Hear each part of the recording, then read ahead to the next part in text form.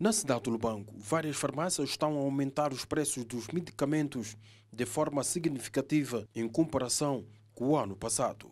Têm reclamado ultimamente nesta, neste mês uh, são os preços. Né? Em dezembro estava a custar a 1.200 kwanza, mas agora já está a sair por 1.900 kwanza, isto o Benoron. A chaciclina estava a 700 kwanzas, mas agora está a 1.500, também de origem portuguesa.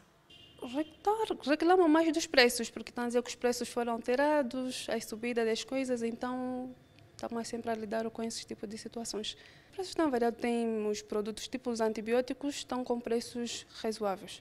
Temos de 1.800, tem, depende, do, depende do fármaco. Alguns produtos subiram, mas é, tudo por conta de, dos fornecedores principais. É, porque a farmácia também depende do local em que é feito as compras. Mauro Benjamin e Helena de Belém foram comprados medicamentos para os seus familiares doentes e ficaram surpreendidos com os preços que encontraram em algumas farmácias. Vim para aqui comprar um antitúlcico para o meu filho, né? Uh, a receita médica não, não, não trouxe, mas uh, já conheço o xarope. E quanto ao preço, achei um bocadinho elevado. Estamos a sair há pouco tempo do hospital então eu vim procurar medicação para ela. Então lá no hospital nós estávamos nos cobrar 5 mil kwanzas, então eu tentei procurar se aqui na farmácia está mais barato. A realidade é a mesma nos depósitos que vendem medicamentos em grandes quantidades.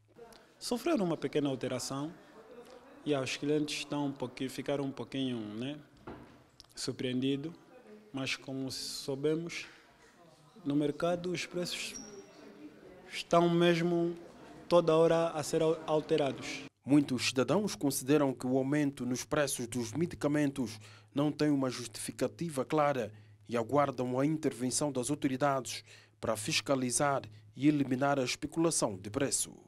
Assim fica difícil. O medicamento também, cada dia que passa, sobe.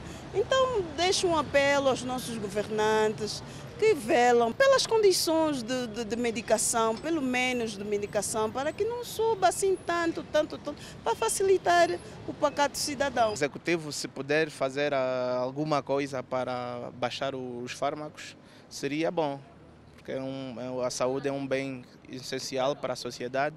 Para Nies Anawila, os farmacêuticos estão sujeitos ao regime de preços livres e devem respeitar os requisitos estabelecidos defende que os operadores do setor na província não devem aumentar os preços acima de 20%, sob pena de serem penalizados.